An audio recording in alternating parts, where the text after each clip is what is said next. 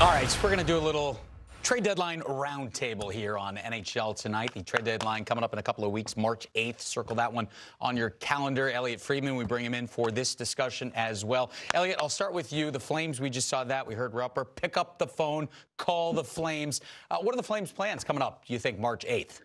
Well, first of all, I would say that if you haven't picked up the phone by now, you probably aren't doing your job properly. Everybody knows uh, what the Flames have been up to. Look, I think this. I think the Flames have shown, uh, if you look at both their deals, the Zadorov one and the Lindholm one, in both cases, they said, look, we've got an offer.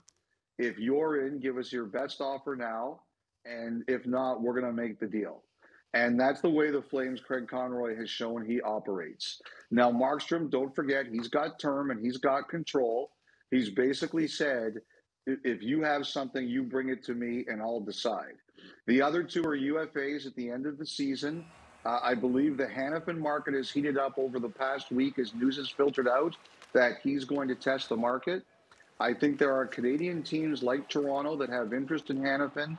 I just think the U.S. teams think that long term, he's much more of an offer for them than anywhere in Canada. The Tanev situation, there are a lot of teams around that, from Toronto to Dallas to Colorado to Tampa Bay to potentially Boston to uh, Edmonton to Vancouver, although Vancouver, I think, would have a really hard time doing it.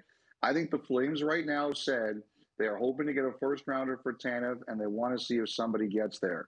I think this has been very hard on the team and the players, the players especially. I think a lot of the players would like this to be over. They're tired of it being mentioned but that's where I think it stands with all three players. You've been in a room like that. Like, what do you mm. do if you're a guy in the room? You're grinding. You're you're fighting for your lives here. You're three points out of a playoff spot. You, you hear all the noise out there. We're selling. We're selling. We're selling. How, how, does that How does that go through a dressing room?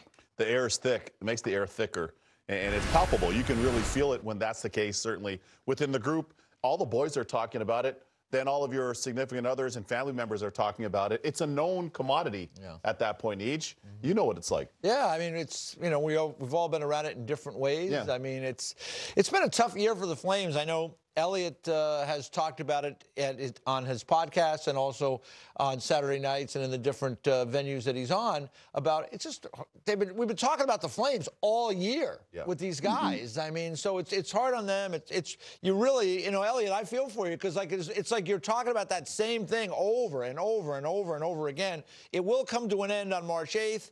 These are players, especially those defensemen that, that teams are going to be looking for. The, the one I'm curious about still is Markstrom. And, uh, you know, we talked about the Devils being interested. And it's dead, it's not dead. Nothing's dead. you never know. It can easily, Elliotte, you know, right? Things that are dead sometimes come back to life. This is why I don't like making pronouncements because yeah. once you've gone somewhere down a road, you want to see can you get back to that road. And Look, the the other guy I feel for is Craig Conroy. I think the I think the pressure on him has been immense, and uh, you know I I think the role of the agent too in this situation is to do best by your client. So you're constantly reaching out. What's going on? What's going on? Can we move this along? I think I'm amazed that the Flames haven't completely fallen out of the race. Um, but I think look, he's kind of said, you know, my price is here. If you get here we'll we'll do something. But so far in those cases, they haven't had it. Now with Markstrom in particular, I think the other issue is retention because mm-hmm. he, he's got term left. I think the, there's been some questions that say people saying the Flames don't want to keep money. I don't think that's true. But what I do think is true is they've set a high price for it. And that is a challenge because number one, you have to make the trade for the player. And number two, you have to make the trade for the retention. And teams kind of have a chart where they say, well, this is what this is worth and this is mm-hmm. what this is worth. Because Markstrom has term with him, the Flames are asking a little higher. Yeah, and I'll just add to that two things. One, once this is over, the good thing is I don't have to hear any of our neighbors here in Jersey ask me about it anymore. Two, I don't have to hear any family members and in-laws up in Alberta ask me yeah. about this anymore. Yeah. But quickly, in speaking to some folks from the Devils, I got a good sense of what they make in their playoff revenue yeah. and what they made last year per game.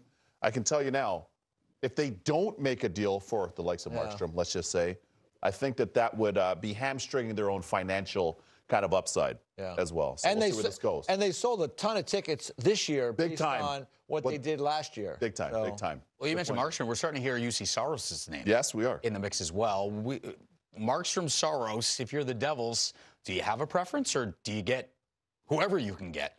Well, here's the. Uh, I'll give this uh, to you guys in a sec. The biggest thing is number one, you're looking at Markstrom.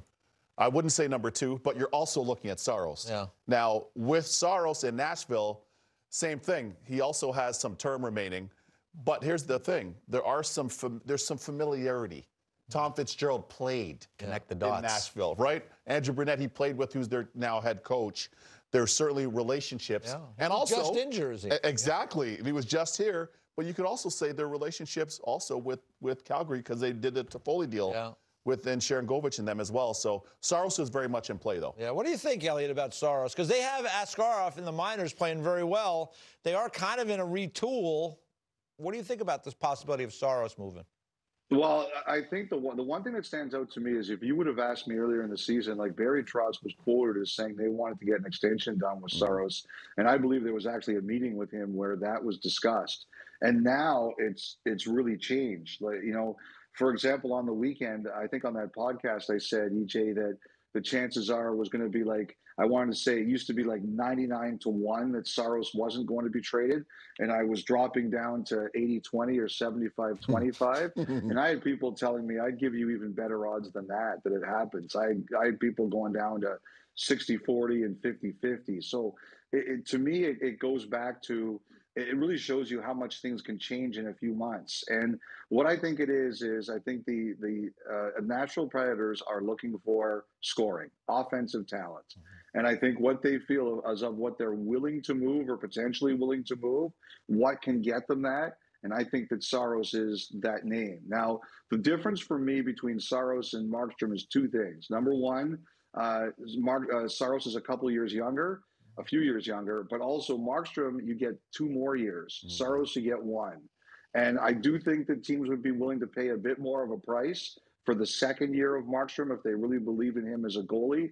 But I absolutely do agree with you guys when you say that if if it's not Markstrom, now there's another option there that teams really like. And I, the other team I wonder was Saros yeah. is the Kings because I know they've mm-hmm. kicked that idea around mm-hmm. before. Mm-hmm. Elliotte, just quick, is it because they have the strength at the position in the minors? I mean, Askarov was a first round pick and he's playing well. I mean, is that pushing this forward in your mind? Are you hearing any of that talk? Yes, I, I, do think that's the case. Like that Milwaukee team has won like a billion games in a row. up to 17 now. Askarov, yeah. Has played quite a few of them. Um, look, like Saros is a known commodity and Askarov isn't. Um, that's one thing I always, you know, people yeah. get excited about prospects. Saros is a known commodity, and also he's up for a new contract in a year. So I think that I think the fact that Askarov has really taken off on the back end of the season, though, EJ, you're absolutely right. I don't think that makes Nashville 100% comfortable with doing it, but I think they are more comfortable now that they've seen Askarov's recent resume. I know we chopped yeah. this topic up a little bit earlier, so I want to get Elliotte's take on this one. The Pittsburgh Penguins, Ooh. massive game tonight against the Islanders, but the Penguins, buyers, sellers, Jake Guentzel, UFA, injured right now. What do you think the plan is in Pittsburgh? Well, Kyle uh, Dubas is going to speak tomorrow, so I'm sure he's going to provide us with a lot of answers. uh, but um, you know, I, I do think this. I, like, I think one of the things that Dubas has made very clear in his organization is that it is not the time for them to be like they don't have a ton of assets, youth youthful ones. I mean, obviously they have some great ones, but youthful ones. And I think he's made it very clear he does not think this is the right time to trade for short-term help or even trade his useful assets. Period. I think he's there to kind of build them back up at the same time. So I don't see him trading for help in the short term to make the Penguins so much better. So I think that everybody in the organization is aware of that. Um, and they understand that that's what the plan is. So I think with Guentzel, I think you know there are some teams who suspect that Dubas will try to re-sign him one more time, but I don't know that that's true. I, I think that since they're really in a tough spot right now, I think it's likely he hits the market. Um, and the one of the things I think people are really curious about is if Dubas allows teams to talk to Guentzel before he considers any trade. And I think that's going to be one of the more interesting storylines in this is if the Penguins do decide to trade Guentzel, and I would put my percentages on more likely that happening because they need to add some more things to the organization. The question is going to be, do teams get to talk to him first?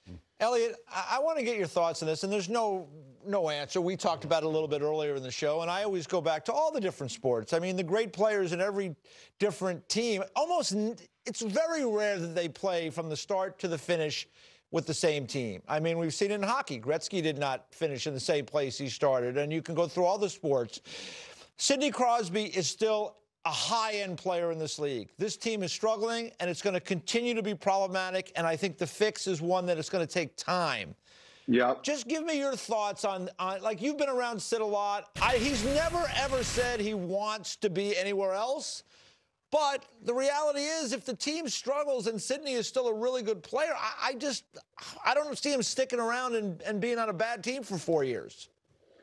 Um, I, you know, I saw his quotes today in the Athletic where he said that uh, he wants to be a Penguin for the rest of his career.